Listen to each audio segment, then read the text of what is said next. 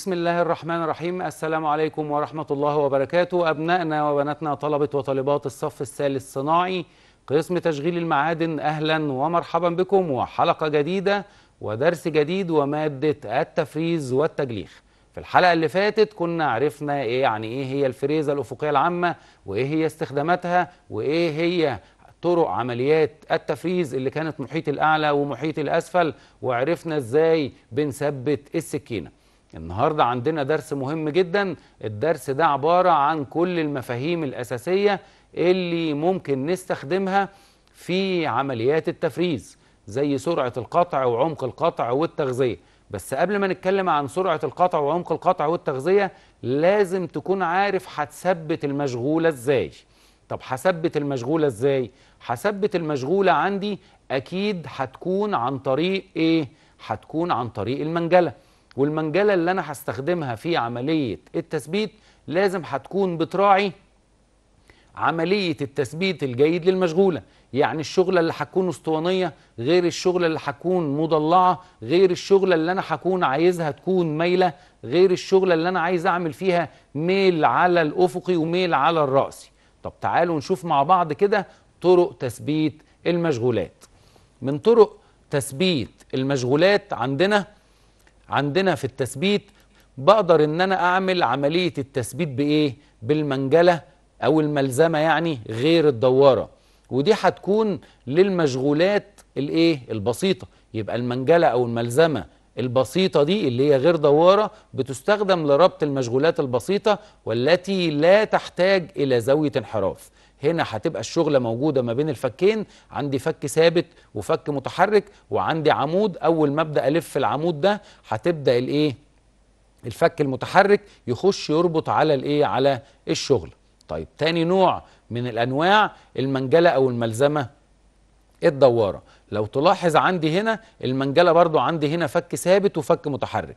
لو أنا حطيت الشغلة هنا وبدأت ألف اليد دي أو الذراع ده هتبدأ تتحرك يتحرك الفك المتحرك ويربط على الشغله بس خلي بالك المنجلة دي أنا أقدر أرفعها لفوق ولتحت يعني آخد بيها زوايا ميل. زائد إن أنا كمان ممكن أعمل لها عملية دوران حوالين مركزها يبقى هتديني كذا ميل في كذا اتجاه. يبقى هنا بتستخدم لربط المشغولات التي سطحها يحتاج إلى زاوية إيه؟ زاوية انحراف أثناء عملية القطع. طيب ثالث نوع عندي المنجلة أو الملزمة الجامعة للأغراض يعني ممكن أعمل بيها حاجات كتير. المنجلة أو الملزمة دي بتستخدم في المشغولات الصغيرة التي سبق تسوية سطوحها. ليه؟ علشان السطح لما يبقى مستوي هيقدر الفك ده والفك ده يلمسوا الشغلة.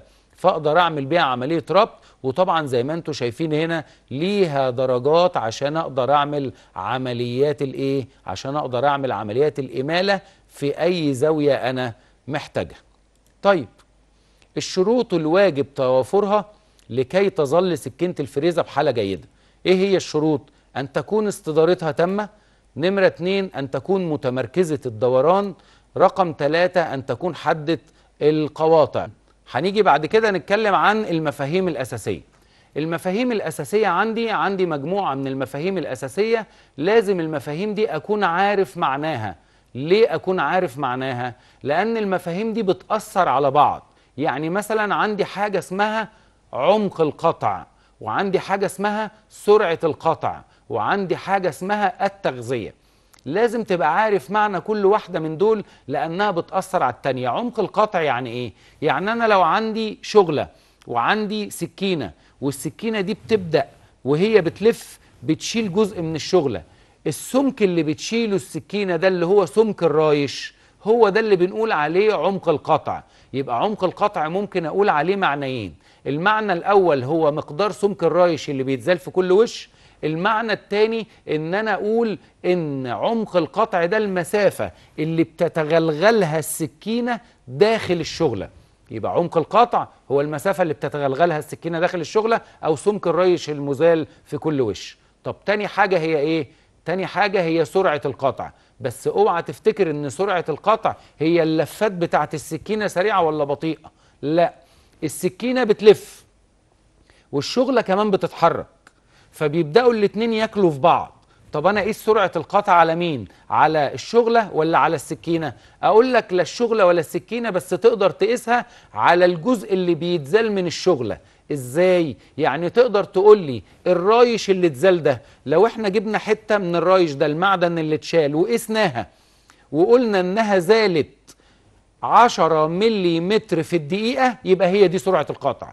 يبقى سرعة القطع هي طول الرايش المقطوع في الإيه؟ في الدقيقة. وأنا أقدر أحسبها كمان من خلال عدد لفات السكينة وهنشوف طريقة الحساب. يبقى أنا قلت يعني إيه هو عمق القطع؟ هو سمك الرايش المزال في كل وش؟ أو إن عمق القطع ده هو المسافة اللي بتتغلغلها السكينة داخل الشغلة؟ بعد كده قلت إن سرعة القطع هي طول الرايش المقطوع في الدقيقة.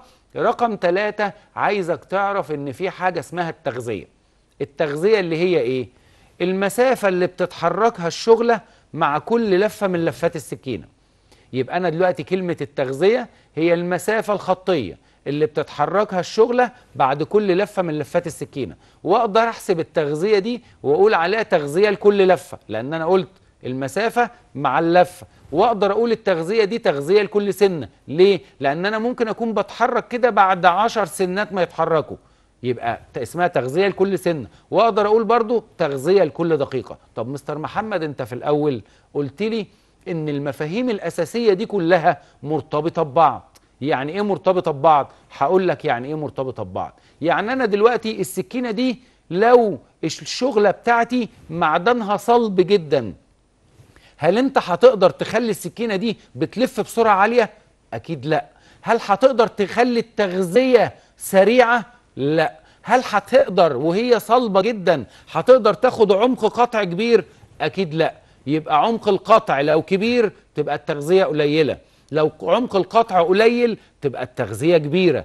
لو التغذية بتاعتي كبيرة يعني بحرك الشغلة كده بسرعة يبقى لازم السكينة تكون بتتحرك بالراحة. لو التغذية بتاعتي قليلة يبقى ممكن أحرك الشغلة. استنى استنى استنى. مستر محمد أنت عمال تقول لي تغذية وعمق قطع وسرعة قطع. لو دي زادت دي تقل لو دي قلت دي تزيد. آه ما كلهم بيأثروا على بعض. خلي بالك إن السكينة والشغلة بيعملوا عمق القطع وسرعة القطع والتغذية متضامنين مع بعض. يبقى لو في أي حاجة زيادة من دول هيحصل إيه؟ هيحصل تلف للسكينة هيحصل تلف للشغلة. يبقى أنا عندي عمق القطع سرعة القطع عندي التغذية وتحط معاهم كمان إيه؟ تحط معاهم نوع معدن الشغلة ونوع معدن السكينة. تعال نقول الخمسة دول مع بعض عشان أقول لك على حاجة كويسة جدا تقدر تجاوب بيها أي سؤال يجي لك. سرعة القطع عمق القطع التغذية نوع معدن الشغلة نوع معدن أداة القطع. بتقول لي دول ليه يا مستر محمد؟ عشان لما أقول لك إيه العوامل اللي بيتوقف عليها سرعة القطع شيل سرعة القطع وقول الباقي. لما أقول لك إيه العوامل اللي بيتوقف عليها عمق القطع شيل عمق القطع وقول الباقي. لما أقول لك العوامل اللي توقف عليها التغذية شيل التغذية وقول الإيه؟ الباقي. عشان كده قلت لك إن المفاهيم الأساسية دي فيها مجموعة من العوامل لازم أكون دارسها وعارف تأثيرها على بعض علشان أقدر أعمل إيه؟ علشان أقدر عمليات التف... أعمل عمليات التفريز بتاعتي اللي أنا محتاجها بكفاءة وبجودة عالية. تعالوا كده نشوف مع بعض إيه هي المفاهيم الأساسية. المفاهيم الأساسية. أول حاجة من المفاهيم الأساسية عندي سرعة القطع. وسرعة القطع عندي هقول إن هي طول الرايش المقطوع في الدقيقة. وبما إن اسمها سرعة يبقى أكيد هنرمز لها بالرمز عين. يبقى أنا دلوقتي سرعة القطع دي هي طول الرايش المقطوع في الدقيقة زي بالظبط اللي كنا بنعملها في عملية الخراطة.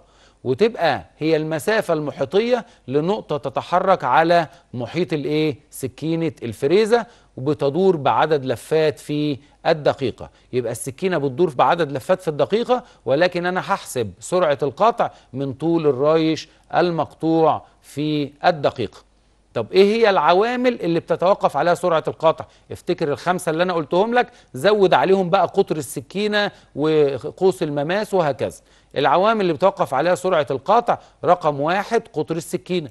رقم اتنين نوع معدن السكينة لو المعدن صلب قوي هيقدر ياكل في الشغلة كويس جدا. لو المعدن بتاع السكينة ما هوش صلب قوي يبقى مش هياكل إلا في مشغولات معدنها طري. رقم ثلاثة نوع معدن الشغلة نوع معدن الشغلة لو طري هشتغل بسرعة قطع كبيرة. لو نوع معدن الشغلة ناشف صلب يبقى هشتغل بسرعة قطع قليلة. رقم أربعة العمق المراد إزالته اللي هو عمق القطع يبقى لو عمق القطع كبير هشتغل بسرعة قليلة لو عمق القطع قليل هشتغل بسرعة كبيرة. رقم خمسة نوع سائل التبريد. وسائل التبريد ده اللي أنا بستخدمه في عملية إزالة الحرارة لأن ارتفاع درجة الحرارة مع وجود الاحتكاك اللي ما بين السكينة وما بين الشغلة هيؤدي إلى تلف السكينة وتغير أبعاد الإيه؟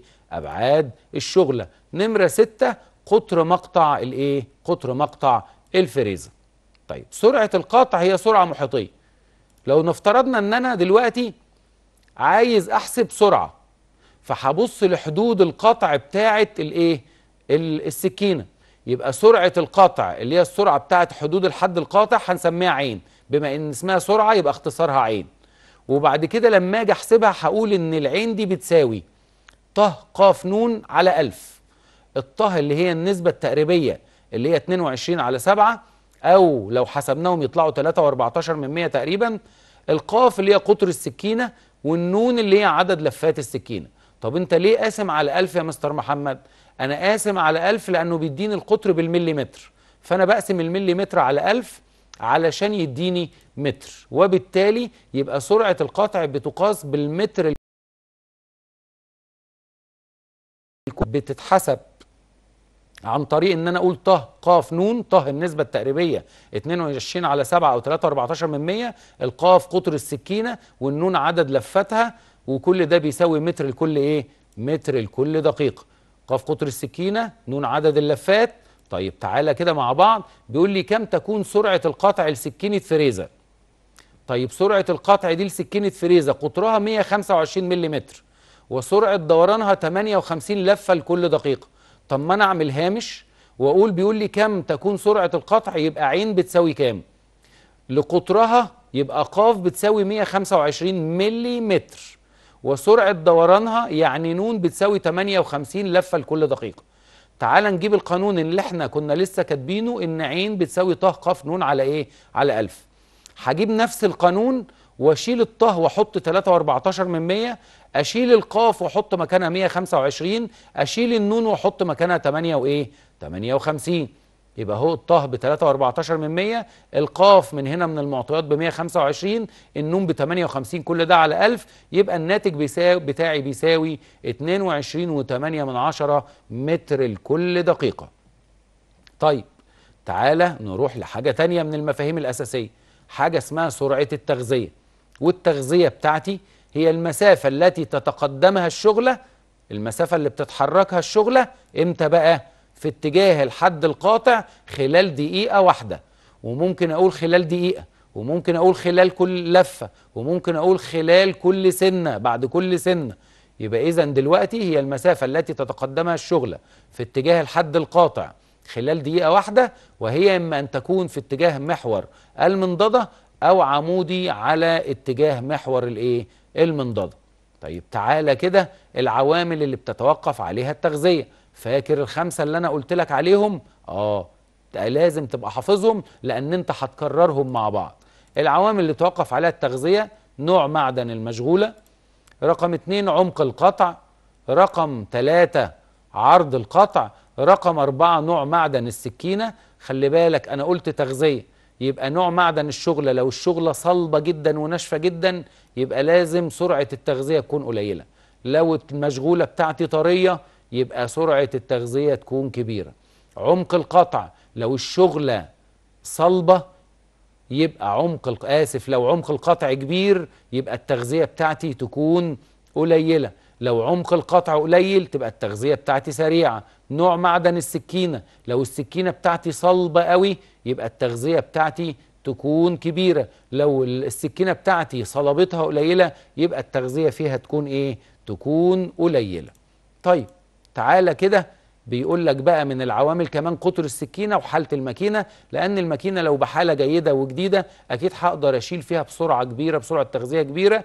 إنما لو كانت الماكينة ضعيفة مش هقدر أشتغل بسرعة تغذية كبيرة. نمرة سبعة درجة تشطيب المطلوبة لأن أنت لما بيكون درجة التشطيب بتاعتك عايزها بنعومة عالية بجودة عالية يبقى أنت لازم تعمل سرعة تغذية معينة. ولو كانت خشنة يبقى لازم تغير سرعة الإيه؟ سرعة التغذية واستعمال سائل التبريد اللي بيعمل عملية تبريد عشان يحافظ على شكل الشغل.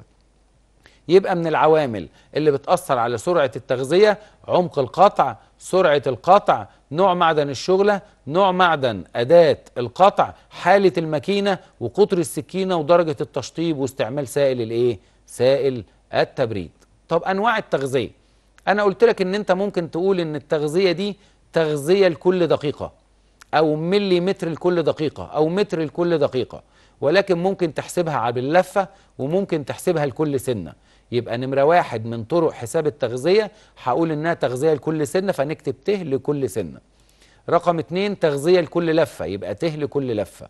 رقم ثلاثة تغذية لكل دقيقة يبقى أنا بحسب آه، المسافة اللي أنا بعمل لها تغذية مع الزمن. هنا كنت بحسب المسافة مع السنة وهنا كنت بحسب المسافة مع عدد اللفات مع لكل لفة وهنا حسبتها لكل إيه؟ لكل دقيقة.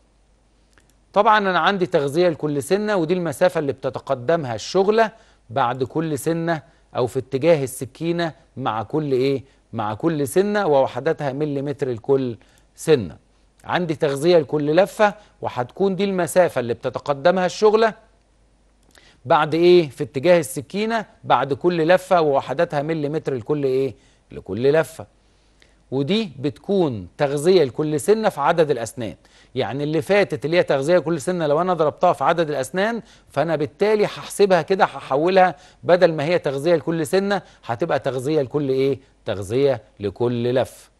تغذية لكل دقيقه يبقى دي المسافة. ما هو أنا كنت قايل إن التغذيه المسافة اللي بتتحركها الشغله لو قلت بتتحركها الشغله مع كل سنة يبقى تغذية لكل سنه بتتحركها الشغله في وقت معين تبقى تغذية لكل دقيقة. بتتحركها مع كل لفة يبقى تغذية لكل لفة. يبقى المسافة اللي بتتحركها الشغله دي لكل دقيقة. اللي بتتحركها الشغله في اتجاه السكينة خلال دقيقة ووحداتها مليمتر لكل إيه؟ مليمتر لكل دقيقة. تعالى بعد كده نعرف يعني إيه عمق القطع. مثلتها لك على إيدي من شوية.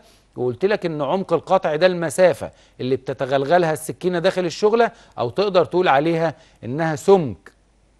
الرايش المزال في كل وش من آه، اوشش القطع أو مشاوير القطع. يبقى أنا عمق القطع بتاعي هو السمك المعدن المراد إزالته في وش واحد. بواسطة السكينة وعندما يكون السمك المراد إزالته أكبر من عمق القطع فيتم إزالته في عدة إيه؟ أوشش تعالوا كده نرجع لبعض في الموضوع ده تاني. نفترض إن أنا هنا عايز أعمل شغلة. الشغلة دي عايز أعمل فيها مجرى زي اللي موجودة دي كده. المجرى دي عمقها مثلا كده 10 ملي أنا سكينة الفريزة بتاعتي تقدر تاكل في الوش الواحد 2 ملي الوش الواحد اللي أنا بنزله وبزيله من جوه الشغلة ده ده اسمه إيه؟ ده اسمه عمق القطع. بس عمق القطع ده بيبقى في الوش الواحد. يعني معنى كده إن السكينة مش هتقدر تزيل إلا 2 ملي وبالتالي أنا عايز أشيل هنا 10 ملي فأعمل إيه؟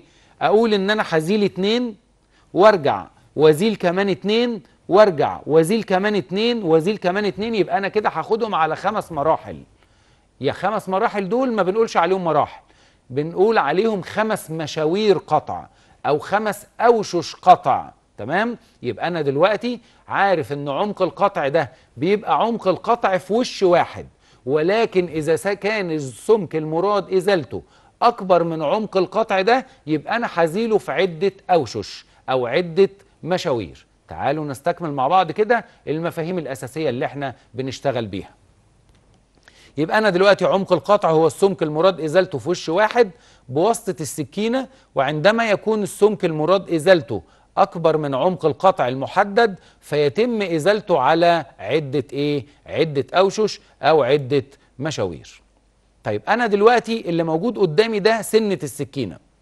السك... السنة دي موجود واحدة هنا وواحدة هنا وواحدة هنا وواحدة هنا بشكل دائري على محيط الدايرة. عشان كده اسمها سكينة بأسنان أو أسنان السكينة. السنة دي يا أولاد ليها مجموعة من الزوايا. هم ثلاث زوايا. دي الزاوية اللي موجودة هنا دي دي زاوية اسمها زاوية الجرف لأن السكينة وهي بتتحرك للأمام كده بتزيل معدن من هنا. إنما الزاوية اللي موجودة في الخلف دي اسمها زاوية الخلوص ودي اسمها زاوية السن. بس عايزك تعرف حاجة شايف الخط الرأسي ده؟ ده كده يعتبر محور السكينة. إنما الخط ده ده خط بيمس وجه السنة. إنما الخط ده بيوس بيمس وجه السنة الخلفي. يبقى ده خط بيمس وجه السنة الأمامي وده بيمس وجه السنة الخلفي. يبقى أنا لو جيت أعرف يعني إيه زاوية جرف اللي هي الزاوية دي أقول هي الزاوية المحصورة ما بين الخط المماس للوجه السنة ومحور السكينة.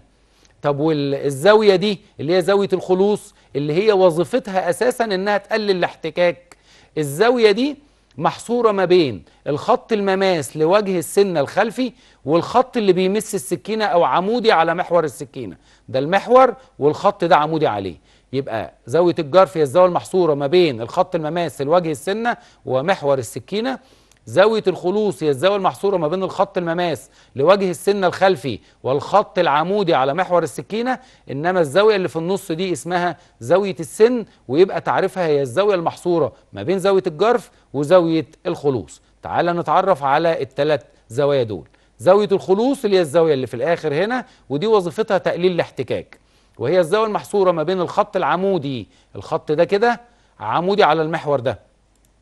على المستوى المحوري المار بحد القطع والمماس لحافة السكينة ويبقى دي اسمها زاوية الخلوص وتكون دي بتتراوح ما بين 7 و12 درجة عشان تعمل تقليل الاحتكاك عشان السنة هنا ما تحتكش بسطح الشغلة طيب الزاوية التانية اسمها زاوية الجرف اللي هي اللي موجودة هنا ودي اللي بتزيل المعدن. وزاوية الجرف دي هي الزاوية المحصورة ما بين المستوى المحوري ده كده محور السكينة. وإيه كمان؟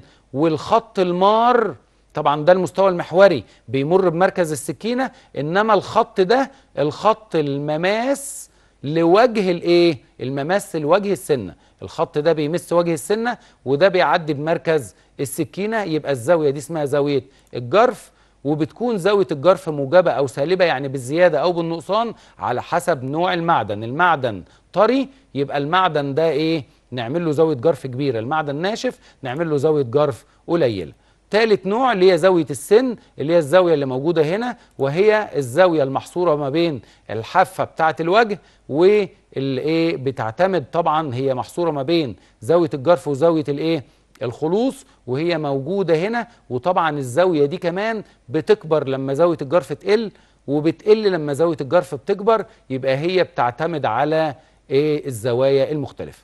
لما يكون ده شكل السكينة عندي بقى هنا المسافة اللي ما بين كل سنة وسنة نسميها حيز الرايش ونسمي الوجه اللي قدام ده اللي هو زي ده كده نسميه وجه السنة. وده الحرف ده اللي هو السن الخط ده يبقى ده اسمه الحد القاطع. يبقى أنا لازم أخلي بالي من كل جزء من أجزاء السكينة. يبقى نمرة واحد وجه السنة هو السطح المقابل للرايش شايف ال- السطح ده؟ آه السطح ده هو اللي بيقابل الرايش يبقى اسمه وجه الإيه؟ وجه السنة والسطح المقابل للرايش أثناء عملية القطع. رقم اتنين حيز الرايش اللي هي المسافة ما بين السنتين. يبقى أنا هقول هو الفراغ الواقع بين خلف السنة ووجه السنة التي تليها. دي سنة الخلف بتاعها ووجه اللي وراها طيب تعال نكمل الأجزاء. الحافة. هي السطح الذي يوجد خلف الحد الايه؟ القاطع. شايف انت السطح اللي ورا ده؟ الخط ده هو ده الحد القاطع. اللي وراه ده هو ده اسمه الحافة. وبيكون طبعا مجلخ معمول له عملية تجليخ علشان نعمل زاوية الخلوص عشان نقلل الاحتكاك. رقم أربعة حد القطع اللي هو الخط اللي موجود عندي ده اللي هو الحد ده اللي هيشيل جزء من الشغلة هنا. يبقى الحد القاطع بيتكون نتيجة لتقاطع الوجه مع الحف طيب المعادن والمواد اللي بتصنع منها سكاكين الفرايز لازم تبقى عارف إن المعادن اللي بتصنع منها سكاكين الفرايز دي المعادن دي كلها بتشبه المعادن اللي موجودة عندك في أدوات القطع المختلفة زي اللي كانت في المخرطة وزي المقشط. المعادن دي تبدأ بالصلب الكربوني بعد كده الصلب السريع القطع اللي هو صلب السرعات العالية بعد كده الكربيدات الملبدة السيراميك اللي هو المعادن الخزفية اللي هو معدن السيراميك والماس. صلب كربوني صلب السرعات العالية اللي هو سريع القطع. تبقى عارف إن كل واحدة من دول بتختلف عن الثانية في إيه؟ إن الصلب الكربوني هو صلب فيه نسبة كربون وعملنا له عملية إيه؟ تطريق في أقسام الحداده ولكن لما جينا نعمل صلب سرعات عالية أو كربيدات ملبدة أو صلب سبائكي خدنا برضه الصلب الكربوني وأضفنا عليه سبائك تانية عشان يعمل عملية القطع بسرعات عالية. أضفنا عليه سبائك تانية علشان نعمل عملية القطع بإيه؟ بعمق قطع وبسرعة عالية. طب تعالوا كده نشوف كل نوع من الأنواع دي هتتكون من إيه. المواد اللي بتصنع منها سكاكين الفرايز الصلب الكربوني الصلب السبائكي الصلب السريع القطع نمرة أربعة السيراميك اللي هو المعدن الخزفي نمرة خمسة الكربيدات الملبدة نمرة ستة طبعا الماس وده أصلد المعادن. الصلب الكربوني وده بيستخدم في سكاكين بالأقطار الصغيرة ولكن من عيوبها فقدها لخواصها. بعد كده عندي الصلب السبائكي وده عبارة عن مجموعة من السبائك اللي بنضيفها عشان نعمل عليها قطع بسرعات عالية وبيتحمل درجة حرارة في حدود ال 250 درجة. وبعد كده عندي الصلب السبائكي ده بستخدمه في الحرارة العالية وفي السرعات العالية وفي التغذية العالية. بعد كده عندي المعادن الخزفية اللي بتقطع عندي في الزهر والبرونز ودي بتتحمل لحد 1200 درجة درجة مئوية زي الكربيدات الملبدة. بعد كده عندي في الكربيدات دي إنها بتتميز عن الصلب السريع القطع بصلادتها ومقاومتها للتآكل ما بين درجة حرارة 800 إلى إيه؟ إلى 1000 وبتصنع من التنجستاين والتيتانيوم. بكده أبقى أنا خدت الزوايا بتاعت حدود القطع خدت أجزاء السكينة وعرفت كمان إيه هي المواد اللي بتصنع منها سكاكين الفرايز طب عايز تعمل الحسابات الفنية اللي بنطلع بها التروس؟ يبقى لازم تنتظرونا في الحلقة القادمة. إلى أن نراكم على خير بإذن الله. أترككم في رعاية الله وأمنه. والسلام عليكم ورحمة الله وبركاته